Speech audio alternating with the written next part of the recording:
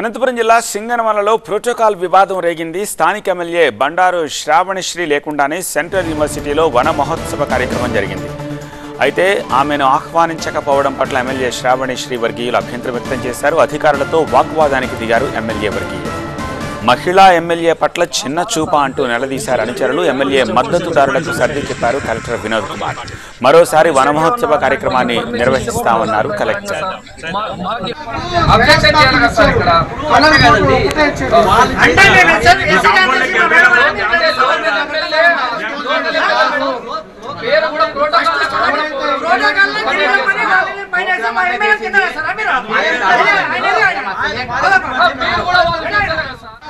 Objection చేయాలి కదా sir ఇక్కడ?